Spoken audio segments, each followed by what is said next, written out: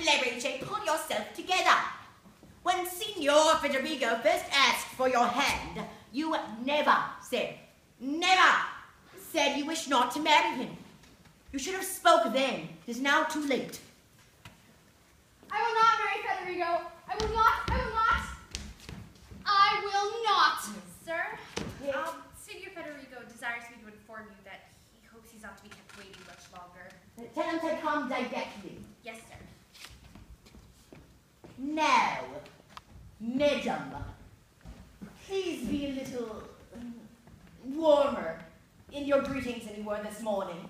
How can I when I feel as though my heart is bursting? Bursting, my heart is bursting. Save me, Daddy. Oh, my heart. Oh. Senor Pensionet. yes. Your servant, sir. Here, Did you receive the purse with the a hundred ducats in it? No. What? what? Uh, uh, uh, I, I, I, I gave it to you a second just now. You told me he was a trustworthy man. Uh, he'll give it to me when I see him. There's no harm done.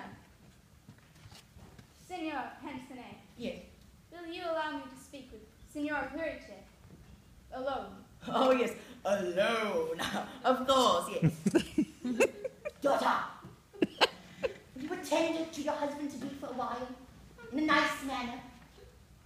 Until our next meeting. No.